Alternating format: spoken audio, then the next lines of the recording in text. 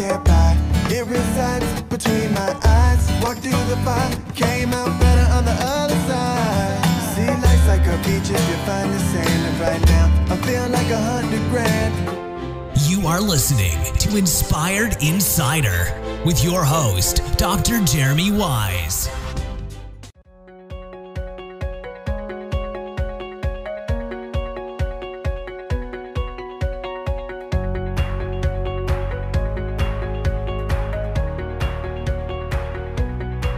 Dr. Jeremy Weisz here. We're here live at IRCE, inspiredinsider.com. I'm here with Tom Montgomery's co founder of Chubbies. And I just want to start off with when did Chubbies start? Uh, so Chubby started in uh, 2011, September of 2011. Um, so we launched a short men's shorts brand right in the heart of fall, which is a really good time to Perfect be launching time. in the United States. Um, and yeah, it was it was four buddies from college uh, who had a dream of clothing, you know, the men of the world in tiny shorts. That's fantastic. So, you know, Tom, I was wondering so, you know, you went to Stanford, Yeah. right? And so you may have been growing up, it's like, "Uh, one day I want to own a uh, tiny shorts company. What did you want to do when you grew up? So that's that's funny. I'm originally from Bakersfield, California, um, so a far cry from Silicon Valley. Uh, the businesses I knew were oil, farming, and my dad was a fast food guy. Uh, what did your dad do? He he owned a couple of Wendy's restaurants. Really? yeah. So I was raised on you know the uh, junior bacon cheeseburger and frosties and all that You're good in stuff. good shape for Yeah, yeah, yeah. So, but so I, the thing is, is like when you go to Stanford, you're exposed to a whole new world of entrepreneurship, and I had no idea. So most of my college career was like, you know, what the heck's going on, trying to figure out my bearings and trying. But you were always, I mean, you grew up in an entrepreneurial household with your dad. Yeah, yeah, I knew I wanted to do something entrepreneurial. It's just the world that I thought, how I thought about it was different. I wasn't. I went from thinking about it as like, hey, maybe I'll run an oil business to, you know, maybe I'll try and start a tech company. You know, Yeah. and so. You know, for us, I worked in venture capital for three years. That was really a big survey of like what are the businesses that are out there. I really started to get passionate about e-commerce because there was this cool relationship with a customer that you can have in a really big scale. And you also can have that in media. And so it's funny that Chubbies is kind of this blend of commerce and media um, because both of those are areas that are really, really interesting to me. And, and then the business kind of originated because we all wore short shorts. You know, we all wore them. They were handed down from our dads or our Really? uncles, or we'd find them at thrift shops, but you couldn't get them anywhere. Um, and so the product was. For some reason, you say it, I picture like John Stockton. That, uh, that's what I picture. That's yeah. exactly you, that's that's that's an honor to be thrown in the same bucket as John Stockton. Um, but so we had a product, and we thought this product was really cool. And then there was also this this world of men's fashion that was totally foreign to us. The Abercrombie Fitch, where they show you the abs and they've got you know six pack guys spraying you with cologne. That wasn't me. That wasn't my friends. And so we tried to kind of take this product and build um, you know this this kind of fashion revolution around it that is like no that's not us. Let's build something relatable. Let's build something about fun about the weekend that doesn't take itself very seriously. Um, and the real inspiration for that was our dads and john stockton and all these old photos of guys who just looked like they were having the best time. They they weren't self-conscious and uh, and so that formed the basis of what became kind of the Chubbies brand. Yeah. So you know, oftentimes when people start companies, it, it's not doesn't start off the same as what it is today. What was the first iteration of the company? What was the first product? First iteration was, you know, we had to figure out how to manufacture products. We had to figure out how to get different colors. We had to figure out how to uh, do all, how to fulfill them. We did all of that ourselves. Um, and so, first iteration was as simple as it could possibly be. It was a pair of white shorts that we would dye different colors, and uh, and we would ship them out ourselves from our apartment. We would take boxes of, of shorts and go take them to the local post office and just ship them out like that. Um, and so obviously, you know, now we've got, you know, probably like, you know, whatever, a thousand SKUs and really, really developed fulfillment operation, really developed manufacturing practices. Um, and, and so it's gone from kind of, you know, four guys in an apartment kind of messing around to, you know, something a little bit more serious. Similarly, on the marketing side of things, we've gone from, you know, being a little bit unsophisticated to now really understanding how content works, really understanding how to engage with our community. And you know, we've got now a community of you know two million people on social media that are just like you know buddies of ours, which is really really Yeah. cool. Really cool feeling. How do you come up with new product ideas? Oh golly, we had a Like brainstorm. what's yesterday. yeah yeah? Talk about the brainstorm. Uh, they're insane. Uh, we go all over the map. And uh, what was an idea yesterday? Yesterday, one of the ideas that I had was, uh, uh, you know, we have tearaway I shorts can't wait to hear that you can this. rip Yeah. off. Yes. Well, I thought, well, maybe we could tear them away, and then you can button them back up on your top half as a tank top. So. I feel like you guys need to be featuring like a Will Ferrell movie or Yeah, something. Yeah, like him tearing great. away the That chubby be great, shorts. Yeah, but uh, Anyone out there knows Will Ferrell or any of those people? like, we send need to get a tearaway chubby shorts on you for one of these movies. he's the coolest guy. Yeah. Yeah, we, we got to get in So a touch him. tearaway that you, that you tear them You away. tear 'em away, but then you could button them What made you even think of that? That's Yeah, we were. That's the point. It's- Right. You, you, when we do our brainstorms, they go far and Like, crazy, and and what we end up like, with, mushrooms about like how do you get creative? No. we've got we've got. Like, what do you do to get the creative juices going in that It's sense? the it's the people, you know. Yeah. And now we've got a team of, uh, you know, I guess 90 total, but in the in the main office about 50, and uh, it's just amazing people. You know, that's something that's Yeah. intangible, and that's something that you learn as you go along. We started with four people, um, and every hire that you make adds to your culture. And Yeah. we've got a great culture. We've got great people in the business, and they're always looking at how can we push the envelope, how can we do something different. Um, and so, you know, the creative process has always been something that is like just balls, you know, just bonker. Yes. bonkers. I love hearing those. Tom, what's one that you thought of that this one hasn't hit the market yet? That that particular tearaway that goes in a tank top. But what's one that you are surprised that actually took off? You're like, let's just test it, let's go with it, and let's see what happens. That actually took off. The One that did well for us is is short overalls. Um, so overalls that you know end in shorts. Yeah. Um, and we made them ridiculous. We made them outrageous, um, and we knew that there would be some demand. You know, I think uh, stuff that you can wear in a really fun way, that's funny and and you know gets attention, is always a good thing. Is always good for us. Um, but we just didn't quite realize how how resonant it would be, and so every time we put them Why out, do you they've think? sold out instantly. Because it's fun, it's funny. You know, I think uh, one of the things about our customer base is that they're fun, funny people, and they don't take themselves too seriously. That's nothing that you know you're going to be planning on wearing to a wedding. Uh, unless you're just Maybe a it's a boss. farm town. yeah, Who knows? yeah.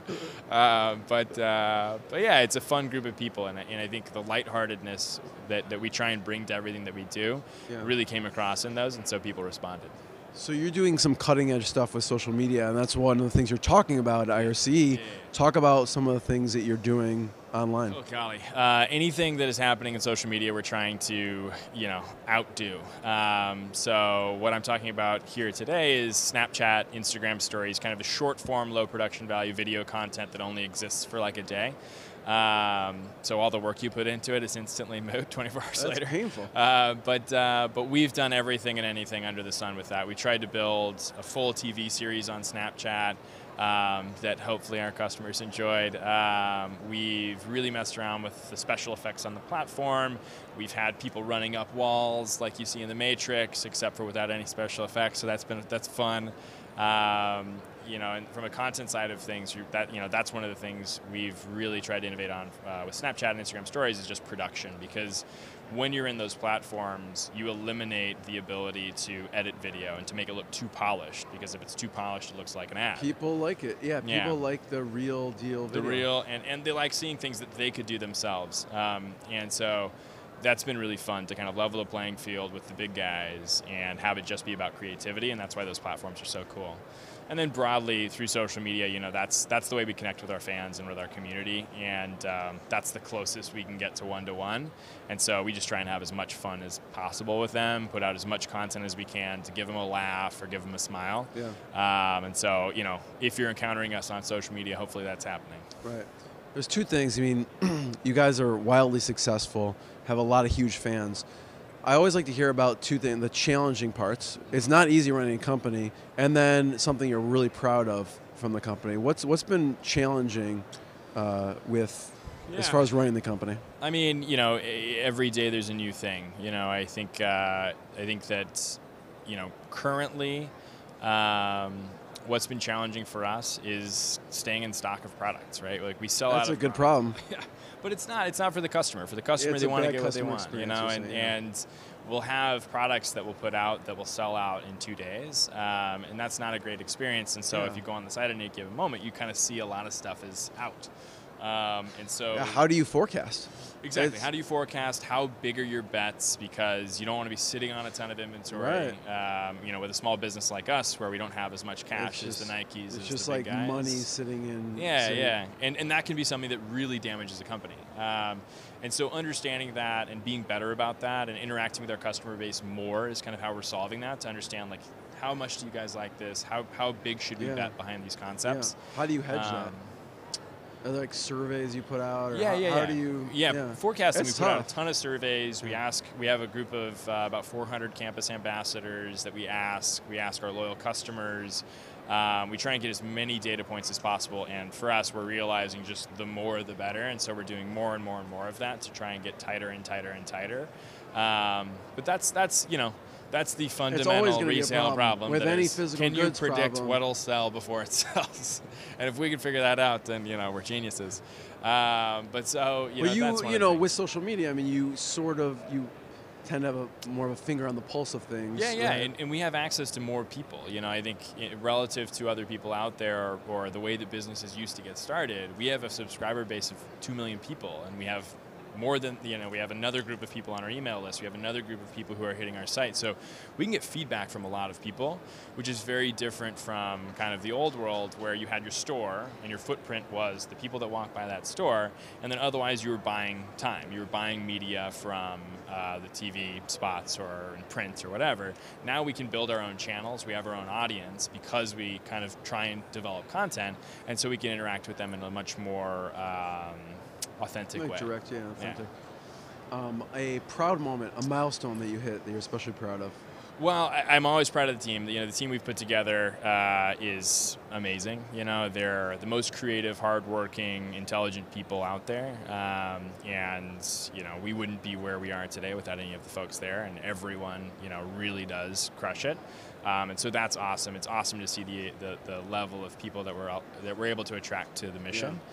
Um, Well, on that point for a second, you know, culture is big for you. How do you foster a great culture? I know it starts from the top down, but what are some Yeah. things that you advise other people to do?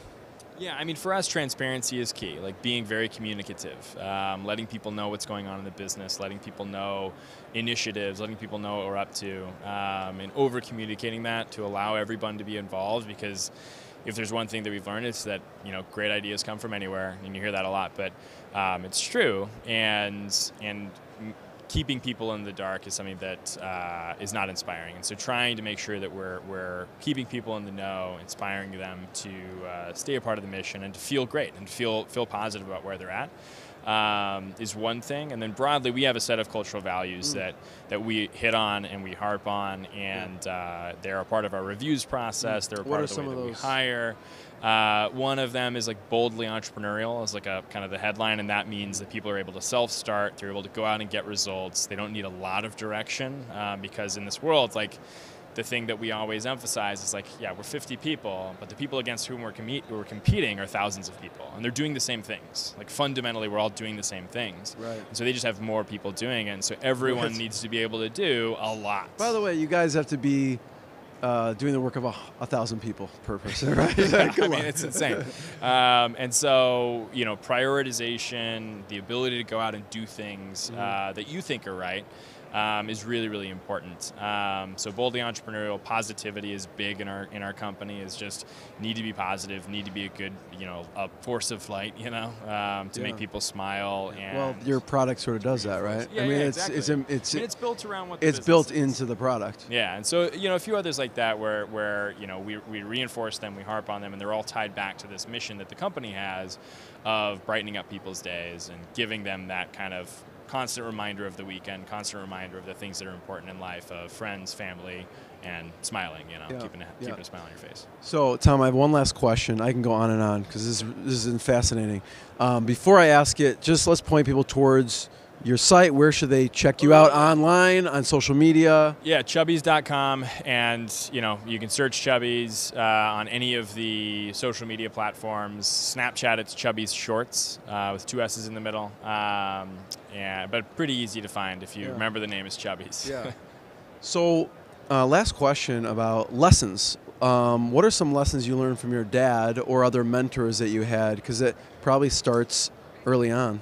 Yeah, yeah, yeah, yeah, yeah. You know, first mentor was certainly my dad. I think the thing that I learned from him was work ethic. Um, since I was a young lad, I was, I was, I was, I was in school. Did you have to work in in some of the Wendy's or what? I did, Yeah. and then also I was working at. You know, he didn't want to give me any any opportunities. You know, so gotta clean the toilets. yeah, so so well, he didn't even want to give me a job. So you know, You he would fight for the he job. would make me go get. So I worked at a I worked at a, an auto dealership for a few summers, washing cars, prepping cars for sale. I, looked, I was a used car sales Yeah. lot guy. Um, and I was also working in the back office doing customer service, working in the service department. So I did a lot of like car work. Um, but from him, it was yeah, it was work ethic, and it was work ethic as it pertained to school. I was I would wake up at like you know six in the morning and start school at home before I went to school, and then I'd go to school and then get out of school and do more school. So he was really big into that, and it was Yeah. awesome because you know I think one of the things that you realize starts to differentiate entrepreneurs is the ability, the tenacity, really the ability to stick with something and crank through the hard times, and see setbacks as just that setbacks. They're not they're not the end of the company. They're not they're not the be all end all Yeah. because you just got to keep just chugging. push You got to keep forward. innovating. Hard Um, work. so Any that's others from him? yeah, he's of? a smart guy. He's a Yeah. smart guy. So lots of others. He taught me how to write. Um, you know, he uh, he taught me a lot of stuff. In terms of like maxims, there's nothing really that comes to mind uh, immediately. But I think tenacity, hard work was always the name Yeah. of the game for him. Um, and uh, and you know, continue learning. You know, when he when I went to sta- when I went to school, he was as uneducated as I was about what modern like the you know entrepreneurship in Silicon Valley was like, but he was learning right along with me and and teaching me a lot about that, and so that was huge. And you know, he's obviously a mentor and a hero. Yeah, so yeah. that's good. Thank you. Yeah, Live RC. Check out chubbies.com. Thanks, Tom. Yeah, absolutely. Thank you. What I got, you can't buy. It resides between my eyes. Walked through the fire, came out better on the other side. See, life's like a beach if you find the sand. And right now, I feel like a hundred grand.